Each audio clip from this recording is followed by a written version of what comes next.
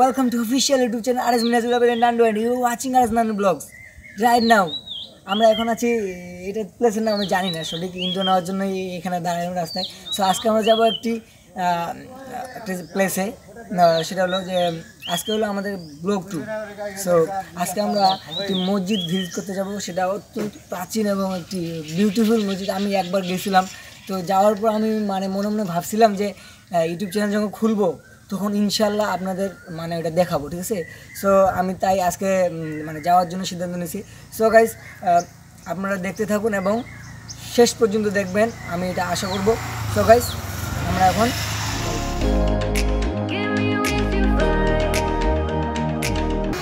So guys right now এখন আমরা আছি ঢেরাপটিয়া নামের এক বাজারে। সেখানে মানে আসলাম, আসে একটু দাঁড়াইলাম। আপনাদের বলে রাখি, এই জায়গাটাতে একটা জিনিস খুবই বিখ্যাত এই জায়গা, সেটা হলো যে এখানে হলো চা, দুধ চা যেটাকে বলে, সেটাকে অনেকে মালাই চা বলে, আর কী কী বলে জানি না। তো এখানে যারা আসেননি এখনও তারা অবশ্যই আসবেন। চা অনেক মানে বিখ্যাত। চায়ের জন্য এটা, এই জায়গাটা একদম বিখ্যাত। প্রায় দূর দূর থেকে মানুষ এসে চা খাওয়ার জন্য। সো আমিও অনেকবার আসি খাইতে। তো আজকে দেখাইতে পারতাম কিন্তু যে ভাইরাসের কারণে সকল দোকানপাট অফ তাই চার দোকান অফ আছে। সো যারা আসেননি, তাদের আমি লোকেশনেরটা আমি আমার ডেসক্রিপশনে প্রথমে দিয়ে দেবো, তারা অবশ্যই আসবেন এবং চা খেয়ে জানাবেন কেমন লাগে চাটা। সো গাইস আমরা এখন যাব মসজিদে মানে ভিজিট করতে। তো দেখতে থাকুন।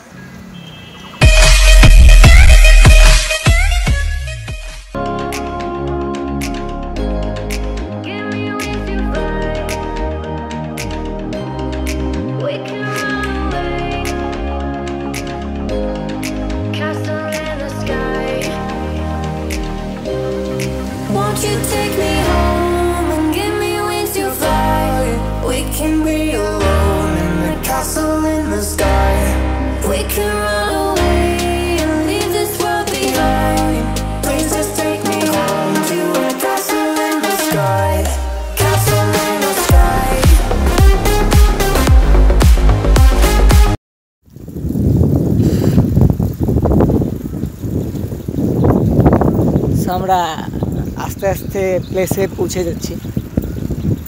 আর আগেই বলছি, গরিব মানুষের যান, সেটা হলো সাইকেল সাইকেলই আমাদের সব। প্রাচীনকাল থেকে কিন্তু সাইকেলটা কিন্তু মানে গরিব বড়লোক সবারই ছিল বাট এখন এটা গরিবের। এটা আমাদের আর ওয়ান ফাইভ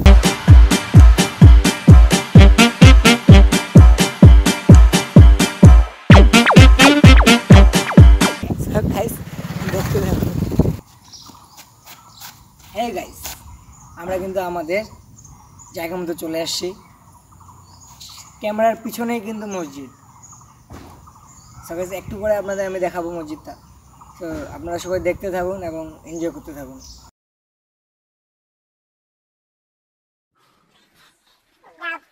প্রো লেভেলের ক্যামেরাম্যান যাকে বলে আর কি। ভালোই ক্যামেরা হ্যান্ডেল করে মাঝে মাঝে একটু ফেল করে শিখাইতে হয় আর কি। আমার বই ভাই আজকে আসে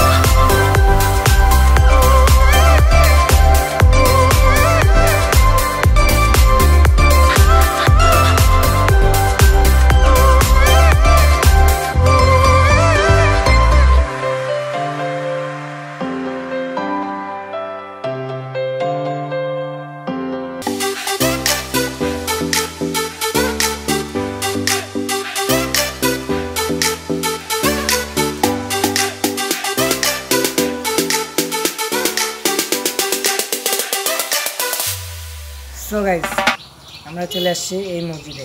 এটি অত্যন্ত প্রাচীন এবং একটি সুন্দর একটি মসজিদ আমি সঠিকভাবে সালটা মানে কত সাল নির্মিত হচ্ছে সেটা আমি মানে এখনও পর্যন্ত পাইনি, খুঁজে পাইনি সার্চ করলাম অনেক, পাইলাম না।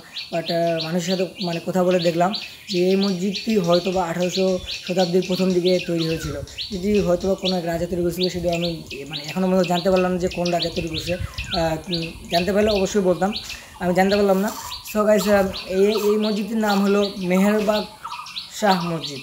এটি হলো আমাদের বিরল উপজেলার মধ্যে অবস্থিত বিরল বিরল বিরল উপজেলার গোবিন্দপুর গ্রামের চৌধুরী পাড়ায় সো যারা এই মসজিদটি ভিজিট করতে চান আমি লোকেশনটা ডেসক্রিপশনে প্রথমে দিয়ে দেবো।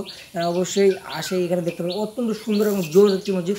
যেটি দেখলেই মন বোঝাবে এত প্রাচীন মসজিদ মনে হয় না আমার দিনাজপুরে কোথাও আছে। এখন একটা জিনিস চেঞ্জ হলো। মানে কি এখন একটা জিনিস জানতে পারলাম সেটা হলো যে আমি ফার্স্টের দিক ভুল বলে বলছি। এই মসজিদের বয়স তিনশো পেরিয়ে গেছে এবং এটি সতেরোশো সালের প্রথম দিকে তৈরি। মানে সতেরোশো শতাব্দীর প্রথম দিকে তৈরি। আমি তখন বলছি এর মধ্যে আঠারোশো শতাব্দীর প্রথম দিকে। আমার কিন্তু আমি এটা একটু ভুল হয়ে গেছে। জাস্ট এখন জানতে পারলাম যে এই মসজিদটি সতেরোশো শতাব্দীর প্রথম দিকে নির্মিত হয়। নির্মাণকালটা মানে একজ্যাক্টলি কত সালে সতেরোশো সেটা বলা যাচ্ছে না। সো এই আর কি। এবং একটা দুঃখের আমার একটা দুঃখের কাহিনী মানে বিষয় বলি সেটা হলো কি যে আহ, এখনও ভালো একটা ক্যামেরা পাইনি হাতে। বাস না আছে ড্রোন একটা। যদি ড্রোন থাকতো তাহলে অবশ্যই উপর থেকে পুরো ভিউটা দেখাতাম কিন্তু সেটা পারতেছি না। মানে এখনও পর্যন্ত ড্রোন নেওয়ার মতো এফোর্ট মানে হচ্ছে না। যখন মানে ইনশাল্লাহ খুব তাড়াতাড়ি নেওয়ার চেষ্টা করব। এবং আপনাদের দোয়া এবং যদি সাপোর্ট পাই অবশ্যই সব হবে। ইনশাআল্লাহ, এটাই আশাবাদ করি এবং গাইস তো একটু সিনেমেটিক শট দেখাবো, দেখানোর পর তারপর কথা হচ্ছে।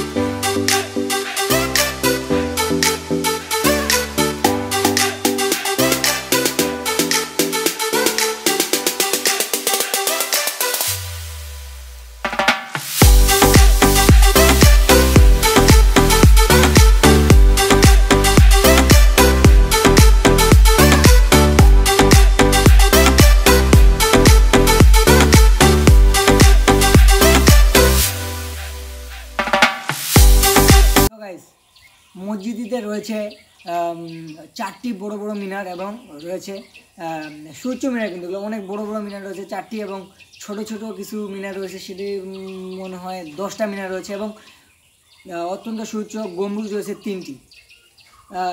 মানে আয়তনটা সঠিক আমি জানি না, তবে বেশি একটা বড় না তারপর এত সুন্দর মসজিদ, আমি মনে হয় সুন্দর এবং পুরানা মসজিদ আমি মানে মনে হয় না দেখছি। প্রচণ্ড জোশ জাস্ট জোশ আপনারা আসবেনই। যারা যারা ভিজিট করতে চান তারা অবশ্যই ভিজিট করতে আসবেন যেহেতু রমজান মাস, রোজা থেকেও কিন্তু ব্লগ করতেছি। সো একটু কষ্টকর হয়ে যায় আমাদের পক্ষে। তারপরও আসতেছি কারণ আসতেছি আর কি, কোনো মানে নাই। যারা কোকিলের ডাক শোনেননি তারা শুনুন। পুরাই অস্থির।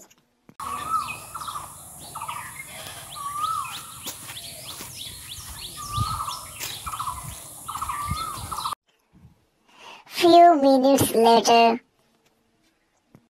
সোনুর আসে কেমন লাগল? রাস্তাতে লাগল। আজটাই মেট্রো সুন্দর দেখলাম। এর আগে আসছি কিন্তু ভালো করে ভিজিট হয়নি এখানকে তো অনেক ভালো লাগছে আপনারাও আসবেন। আচ্ছা মসজিদটি সম্পর্কে যদি তুমি কিছু বলতা যে বলো কিছু মসজিদ সম্পর্কে কিছু কথা বলো। মসজিদের সম্পর্কে আমি তেমন কিছু জানি না বা নানুরা তো বলে দিচ্ছে এইখানটার বিষয়ে। আসবেন দেখবেন আমি তেমন কিছু জানি না এইখানটার ব্যাপারে। সে তুমি রোজা আছো? অনেক টায়ার্ড হয়ে গেছি এত দূর আসলাম ওইটাই তো টায়ার্ড হওয়ারই কথা ভাই। শুধুমাত্র ব্লগটা করার জন্য। তো আজকে ব্লগ হলো ব্লগ টু সো তোমাকে অসংখ্য ধন্যবাদ তুমি আমার মানে অনেক কষ্ট করে তুমি আমার সাথে আসছো ক্যামেরা হ্যান্ডেল করতেছো। তার জন্য অনেক ধন্যবাদ এবং সো গাইজ নূর কিন্তু অনেক টায়ার্ড হয়ে গেছে। জাস্ট বলার নাই। আমিও রোজা আছি, রোজা থেকেও কিন্তু অনেক কষ্ট করে আসলাম, অনেক টায়ার্ড হয়ে গেছি। সো তাদের যাইতে হবে চলে বাসায় এটাই। আর সে অনেক টায়ার্ড হয়ে গেছে এবং আরেকটা জিনিস ওর কাছ থেকে আমি আসার টাইমে জানতে পারলাম সেটা হলো তার গ্রামের বাসা নাকি ইন্ডিয়ায়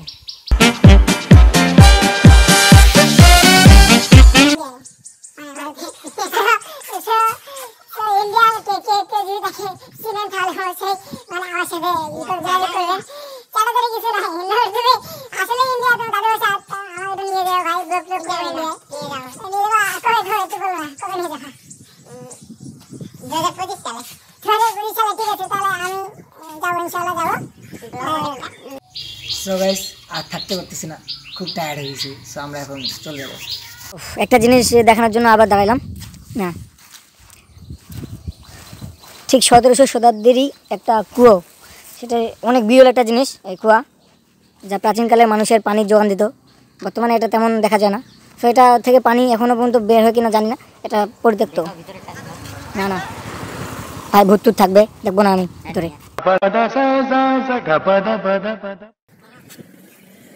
দেখে পুরো পাগল হয়ে গেছে নুন নাকি এইখানে থাকবে এখন বাসা যাবে না।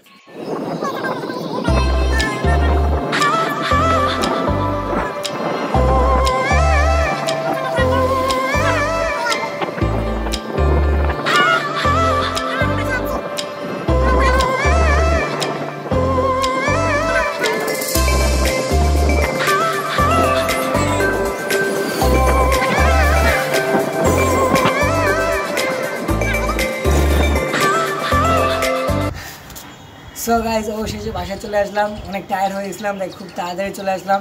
চলে আসার সাথে চলে আসলাম সাদে, বাসার সাথে সো গাইজ আজকে যে মসজিদটি দেখালাম সেটা হলো, সেটা নাম সেটা বলেছি আমি, নাম এবং সব কিছু বলেছি। এটা হলো চৌদ্দশো শতাব্দীর শুরুর দিকে তৈরি হয়েছিল এবং কোনো একটা রাজা তৈরি করেছিল। এবং আপনাদের মসজিদটি কেমন লেগেছে সেটা অবশ্যই কমেন্ট করে জানাবেন এবং লাইক করবেন, একটা শেয়ার দেবেন এবং পাশে থাকা বেল আইকনেতে ক্লিক করবেন। আর যারা এখনও পর্যন্ত আমার চ্যানেল সাবস্ক্রাইব করেনি, তারা অবশ্যই সাবস্ক্রাইব করবেন এবং যারা আমার চ্যানেল অলরেডি সাবস্ক্রাইব করছেন, তাদের জন্য আমার অসংখ্য ধন্যবাদ। সো ভাই আজকের মতো এইখানে দেখা হবে নেক্সট ব্লগে আজকের ব্লগটা ছিল ব্লগ টু দেখা হবে ব্লগ থ্রিতে সেই পর্যন্ত সবাই ভালো থাকবেন, সুস্থ থাকবেন, নিজেকে সেভ রাখবেন নিজের পরিবারকে সেভ রাখবেন এবং নিজের দেশকে নিরাপদে রাখবেন। So guys have fun tata peace আল্লাহ হাফেজ।